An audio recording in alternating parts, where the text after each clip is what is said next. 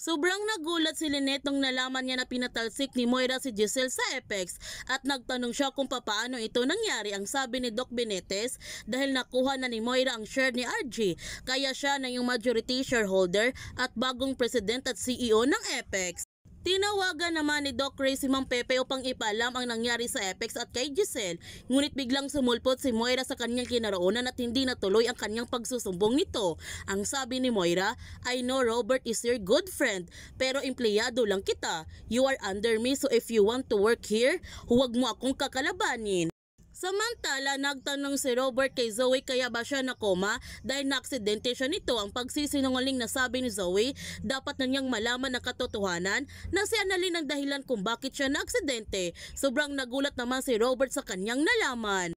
Tinudo na ni Zoe na siraan si Annalyn kay Robert. Pinamukha niya ito na isang masama si Annalyn.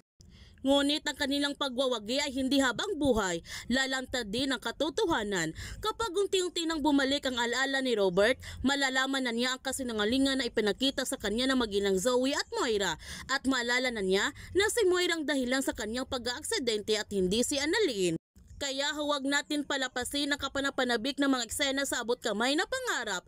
Kung bago ka pa channel ko, don't forget to like, subscribe, ang click notification bell para palagi kang updated sa mga videos in-upload ko. Thank you for watching and God bless to everyone!